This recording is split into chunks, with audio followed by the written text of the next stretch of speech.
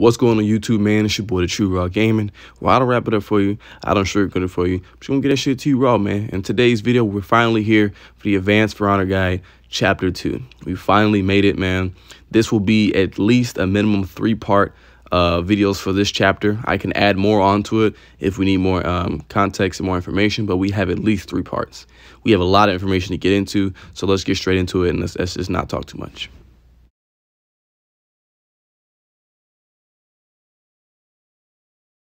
All right, so now we're going to take a look at these stages of defense.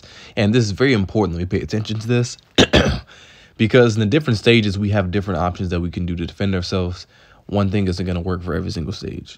So level one, as you can see, is green. So it's the green stage. Um, usually here, you're going to be in neutral. Um, at this point, you can easily tell that you're on offense or that you're on defense, whether you're completely annihilating this guy on offense, you're like, man, this is an easy fight. Or, oh, man, he, he's giving me a hard time. You know, he's pretty good on defense. This is where you're kind of starting to figure things out here. Um, you can choose the quote unquote turtle here. Uh, that's a thing. If you don't know what turtling is, kind of just when you just shell up and you just completely say, forget my offense. I'm just going to play defense, aka Lawbringer. Um, at this point, you know, you like I said, you're just trying to figure things out here. You're trying to try and see what kind of mix-ups you works, what he can react to, stuff like that. You might have ran up ran up on somebody in Dominion, or you know, or this like the the round is just starting for a duel. You know, it's something along that nature. But the overall arcing thing is you are okay. At this point, you're comfortable, as you can see it says there. But the overall part here is you are okay. You're fine where you are. You okay. So right here, this is level two. This is yellow. So we're starting to inch closer toward that danger area. Um, but right here, as it says, you can tell that your offense is not adequate to continue your pressure. Uh, essentially, that just means is you're you're kind of doing your mix-ups. You're doing what you got to do and it's not going as smoothly as possible. Maybe you're fanging into a bash, and instead of him trying to go for a parry or just sitting there, he's dodging the bash and his guard breaking you. He's, he's, he's easily starting to slow your offensive down where you're not able just to dog walk him like you want to. Maybe this is where you start to realize everything isn't going 100% as planned.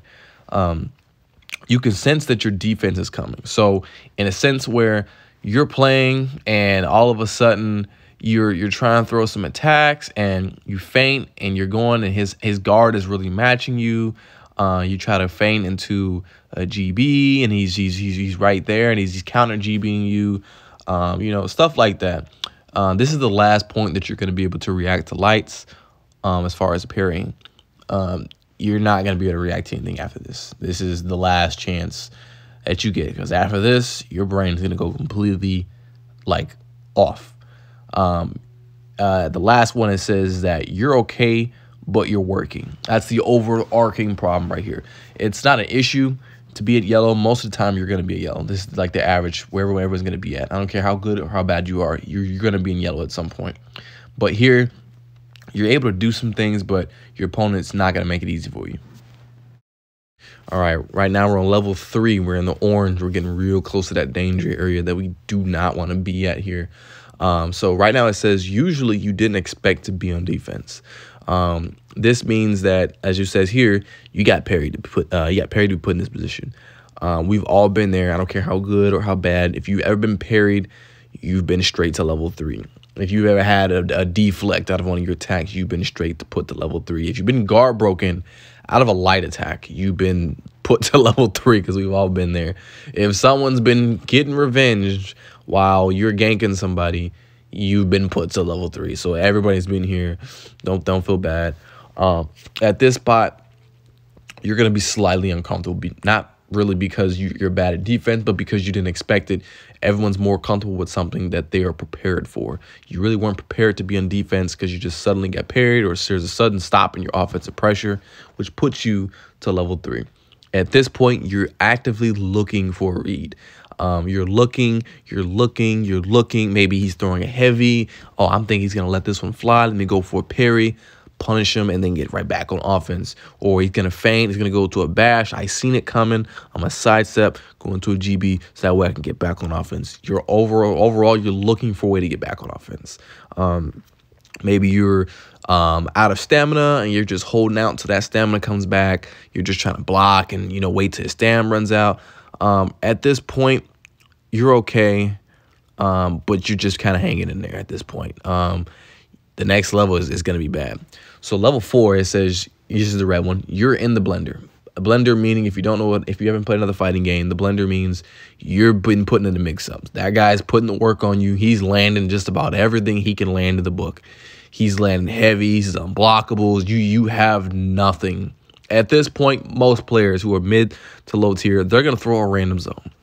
Or they're gonna throw a light or they're gonna throw a dodge attack. They're not gonna deal with the mix ups. If you've ever been to that point where now you're just dodging, you're just zoning and you're trying to roll away, you've been putting low for. Um, he's just walking you down. He's doing whatever he wants to do at this point. There's there's really not much that you can do, but you have to make a decision. You have to do something. You cannot sit here and continue to block. He's he's he's he's lighting you. He's he's putting the pressure. He's frame trapping you. You have to do something.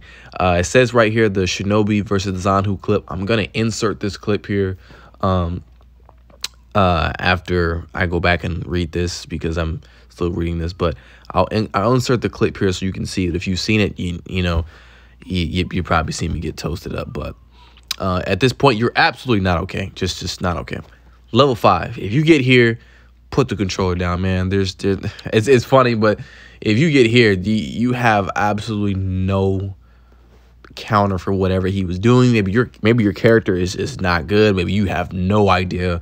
Maybe you're completely out of your league fighting whoever you're fighting. But at this point, you need to just go do something else because after let's say you fight this guy 10 times and he's just obliterating you, you're getting fived and 3 0 and there's nothing you can do. It's just, hey man, let's just go ahead and get out of here. I'm just you know, we've all met that player. We're like, damn, there's nothing I can do. And as you see right here, the quote, I can't do nothing. That if you said that, you've been in level five. I've been in level five before. There's a few players that made me do that.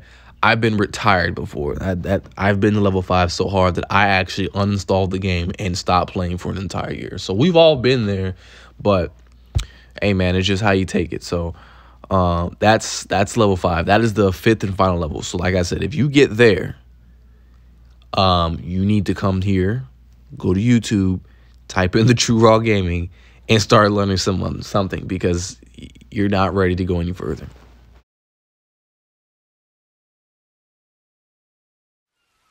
Round three.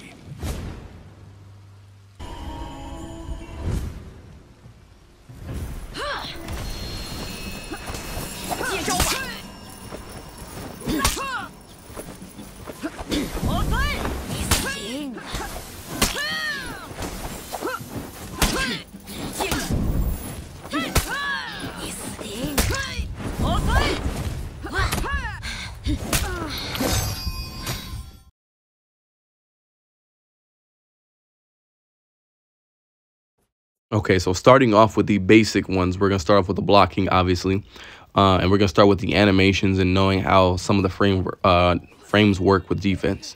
Take a look how I'm throwing a light and I'm bouncing backwards. When I throw a light, he's not moving. So me bouncing backwards, the animation is telling me that I'm in the negative, negative as far as frame advantage, okay? That means negative meaning I can't do something that is an equal speed, equal speed, and and be equal. I'm in the disadvantage. If I try to throw an attack after, he's more likely going to beat me if he throws a light. So if our lights are the same speed and I throw it right after being negative, he's going to beat me because I'm negative. Now, the heavy, as you can see, pushes him backwards, not me now. So now that tells me what I'm positive. The, the, the, the animations is going to be what's going to tell you, you know, what you need to know as far as the information. This is what you need to start doing if you want to play on the higher level of, of gameplay. This is what you need to start looking for. So we're still on the same relative subject here, but now we're going to have him throw a light right after. Throwing a light right after can be a really good thing if you're on defense because if the person's throwing a light and they're starting off their combos off of lights, and as you can see here, and I throw a light, I can't beat him back out. I throw a heavy, I still can't beat him back out because it's, it's not the same properties as if a finisher heavy. So now I'm going to show you what a finisher heavy looks like. That's a finisher heavy. That gives you the max amount of frame advantage. And this is what leads into what I told you in offense of frame trapping. Okay. So as you can see, if you picture yourself on the other side, you can kind of see what options you have. Now, this right here is just going to show you every option all in one little clip. Now, I can dodge, knowing that I can't do anything about it. Instead of me trying to light right back out, giving him a free damage, I'm gonna do something else. I'm gonna dodge. As you can see now that I'm, I'm blocking, right? I can block. That's the simple thing you can do. Block. You can take it to another level and you can start experimenting with maybe you want to do something else. You can dodge kick as you see, or if you don't have a kick, you can dodge bash. Um, you know, there's you can do a dodge attack. There's a lot of things that other people can do depending on the hero that you're playing. Uh, you can dodge. You can you can parry. You don't have to dodge. As you can see, I'm just parrying right after because I know I can't beat him. 99.9% .9 of the players are going to throw a light right after. You can deflect. As you can see, you can really mix up your opponent. This is how you can actually use this this information to your advantage to set up and set up a trap for your opponent. This is high level gameplay.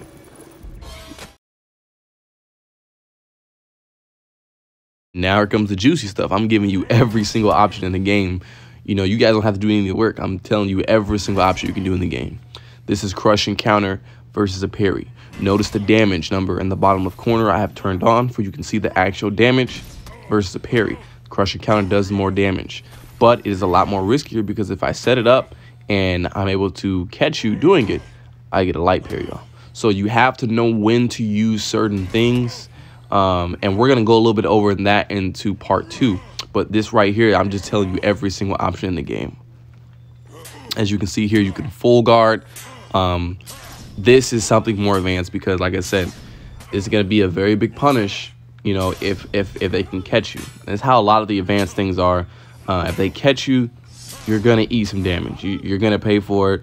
There's no ifs, ands, or buts around it. As you can see here, no matter what. You know, just about every move that you that can be thrown at you, you can you can full guard as long as it's not unblockable, obviously, or a bash. Um, for this character at least, you can do it. Now you have BP.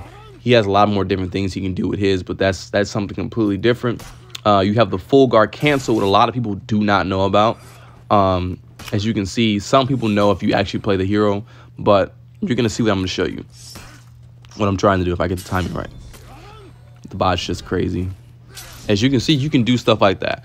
And in a situation where you're supposed to be, you know, caught, um, you're not. You're right back on offense. You, you can't be punished like that. So the game, in that sense, forces you to actually know what you're doing and do the correct punish. The correct punish would be a GB. That's if I do that. If I don't do that and you try to GB, now you can't GB me. So you have to actually know what you're doing to use these things and to beat these type of things. But this is very good high level, high tier um, defense. Now this is going to be the dodge cancels and the whiff punishes.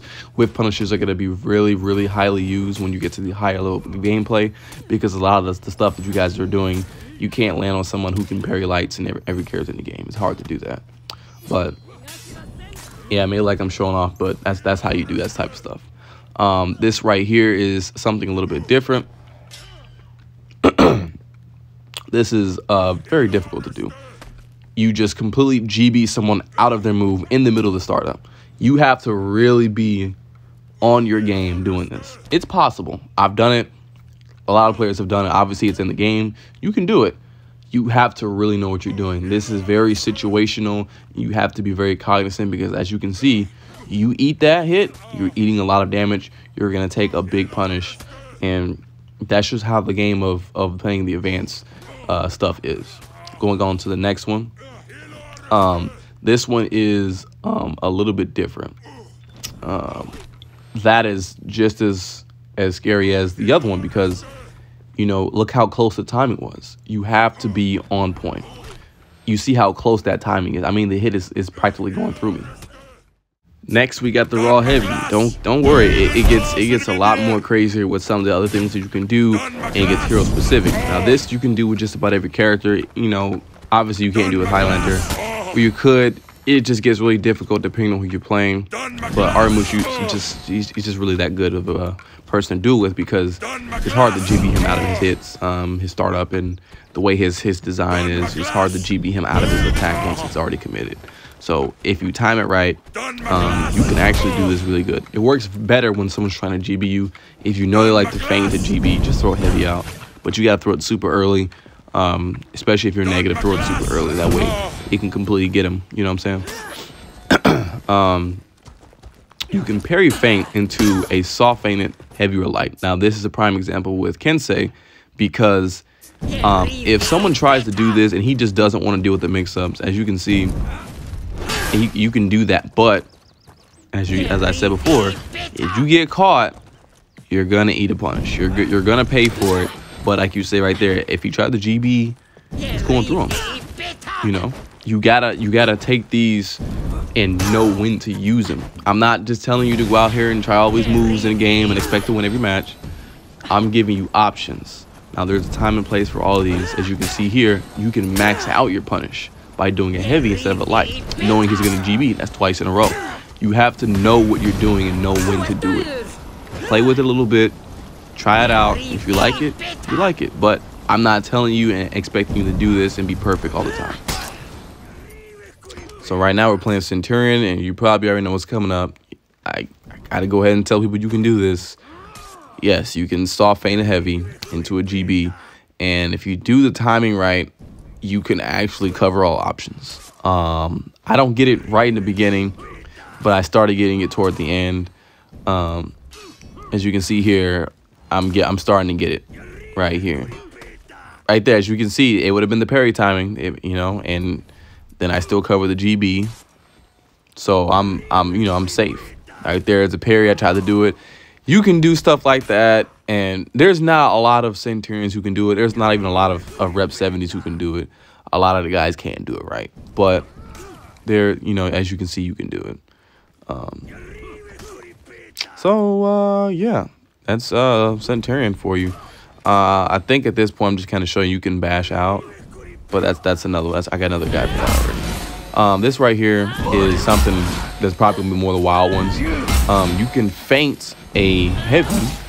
You don't have to feint that. You can just soft feint right into bleed. You can try to parry on the light parry timing and go straight into bleed. Now the damage, you're gonna be sure on the damage, but once you go back to neutral, you can get your health back by attacking. You can you can get the bleed. You can up the pressure. There's a lot of things you can do. Raw damage is not always everything. Oh boy, I'm just exposing everybody's stuff today, man. Uh, we got the max delay bash. This is probably one of the most safest, most annoying uh, move in the game on the most annoying character in the game. Um, it's just really safe if you time it right and you perfect it. Not only will your move not show up until like the very last second, but the dodge bash actually forces the personal offense to stop the mix up because they can't hit you out of the dodge bash. Um, they have to actually stop and deal with it, whether they want to GB, they want to faint into going into the mix-up, but they have to do something as far as stopping their, their combo. So this is the max delay dodge bash. So, um, yeah, I'm just, just letting it all out there, I guess. But, yep, that's it. So next we got Orochi. Um, everybody knows Orochi. Everybody hates Orochi. He has his dodge light. That's undodgeable, so you can't get away from it while he's getting wing out of your attack. But if you perfect it and you time it, you can, like I said before, your attack will not show up until last minute. Now, if you do this move timed with bad internet, uh, your move will actually not show up at all. It would actually be completely invisible, and there is nothing that you can do about it. Um, just really annoying, but it is a way to get out of it. High punish though if you get caught with it. Uh, max delay heavy. This is the infamous Kensei. He's literally known for this. You've probably seen people all over For Honor doing this. They'll do this one move with this hero because that's the only thing they know how to do. But it works. It gets you out of mix-ups and it can get you out of GBs.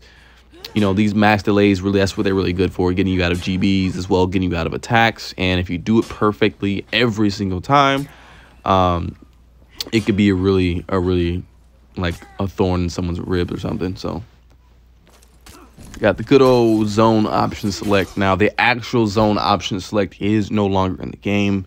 Um, if you remember before, they used to have it where if you threw a zone at most of the time and unblockable, um, if they threw it, you parried it. If they feinted, they got hit with a zone 100% of the time if you perfected it. Um, that's no longer in the game, but you will still come across people here and there who are still in the old ways of doing it. Uh, if you came back after taking a break and you didn't know, this is this is me telling you now. It it doesn't work like that anymore. 99 times out of 10, out of 100 times, you're gonna get hit with something. It's not really worth it. Not worth the stam costs. Most of the time, um, you can do it still. I still do it a lot, but most of the time it's not worth it. Um, but it's an option. So I'm just showing you every single option you can do in the game. Zone option select is one of them. Uh, one more is the raw bash. If someone's trying to swing or they try to GB you and you just completely say, forget the mix up and just bash out. I don't have the footage anymore. Um, it got corrupted. I don't know what happened to it. Um, but yeah, that's an option. So.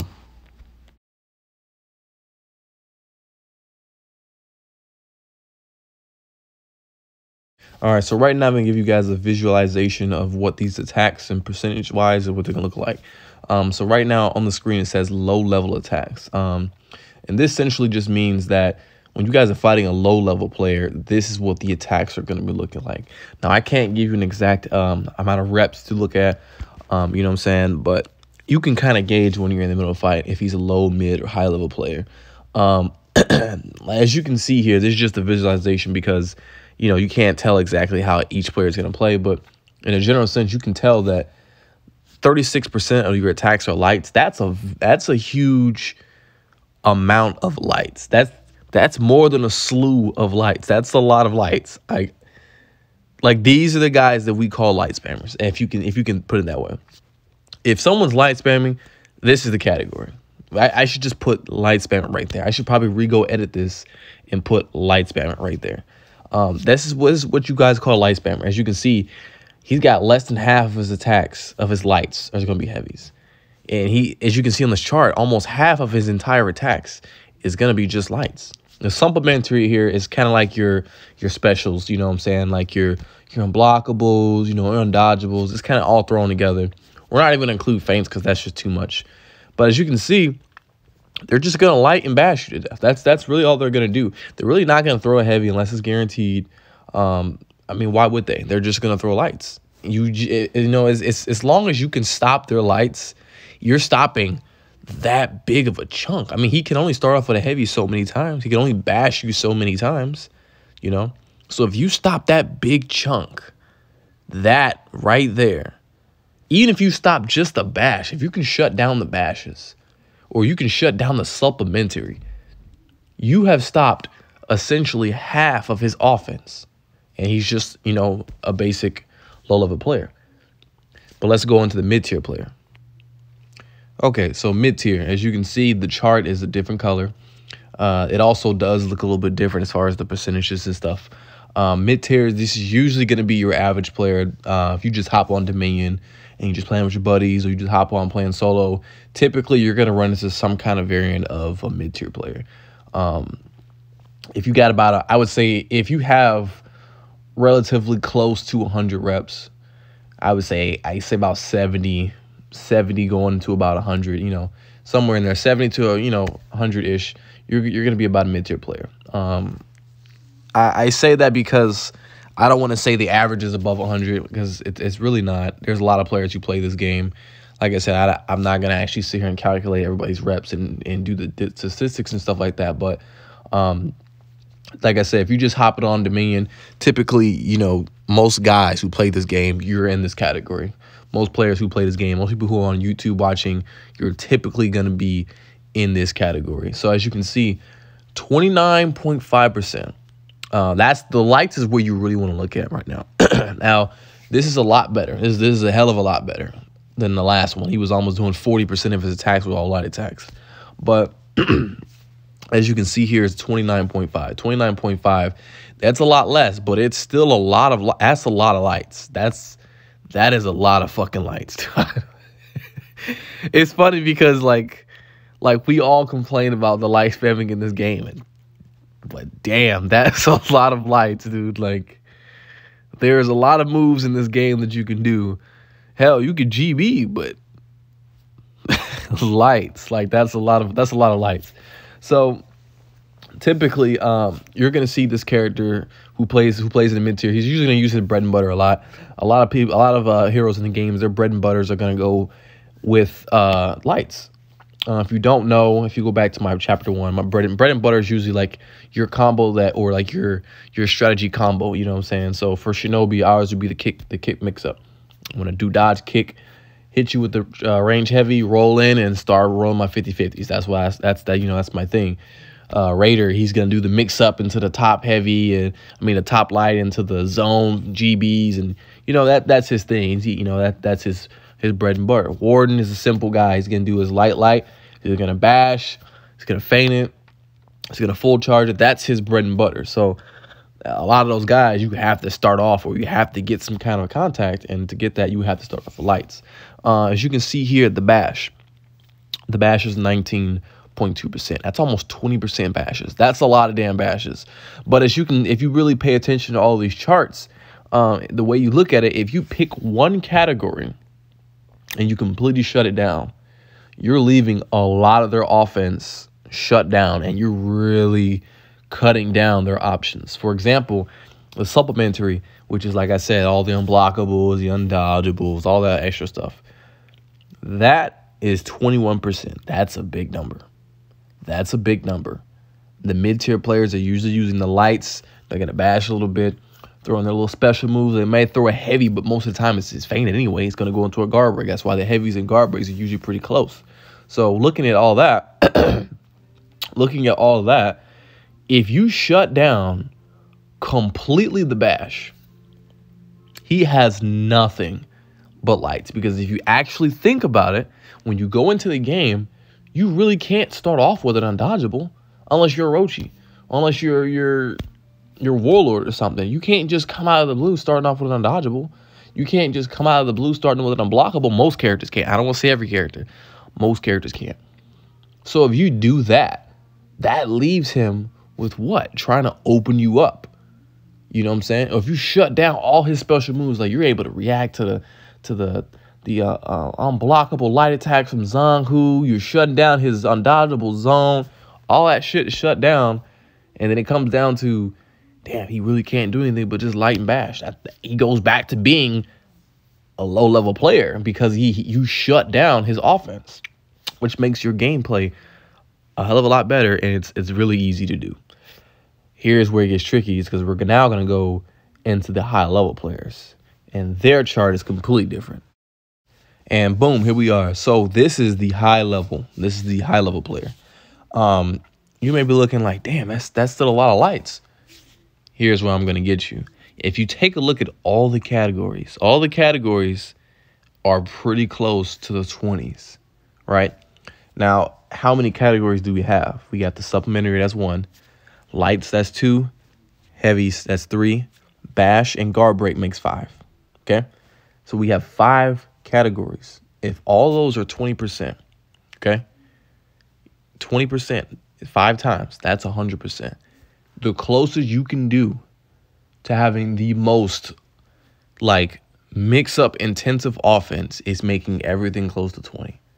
There is not a move in the game that a high level player is not going to throw. When you get to this level, it doesn't matter what you have to do. You're going to beat your opponent some kind of how. Some kind of how. Somehow. As you can see, the heavies is 16, 16.5, right? 16.5. They're starting off with heavies. They're starting a chain with a heavy. They might just GB just a GB to catch you and see if you're going to do something. They may GB two, three times in a row to catch you. You know what I'm saying? This is this when you're at this level, there isn't a move that you that you're not gonna do. There's really not much that I can I can explain unless you you know from watching a high level player. You might have fought one. You, your favorite YouTuber might be a high level player, and you've watched enough gameplay to know. And if you actually pay attention, and then come back to these charts, these charts are telling you exactly what these guys are doing. A lot of you guys are thinking you guys are not good at the game. I made a video on that a lot of you guys are actually really good at the game. I've I've seen some of you guys' clips. You guys send me clips sometimes, and you guys actually are really good at the game. I've played with a few of you guys. You guys are actually really good at the game. The only thing is you need to be a little bit more unpredictable. I mean, sometimes the mix-ups that you're gonna do, it means absolutely nothing. It's just to have his brain think about something else. And that's something that when you get to the higher level, that's when you're going to start doing. You're going to start doing what's called throwaway mix-ups. And it's literally just to trick the opponent's eyes to see something different. So now it gives you the impression that you have all this this big ass move set when every hero in the game only has like 10 moves.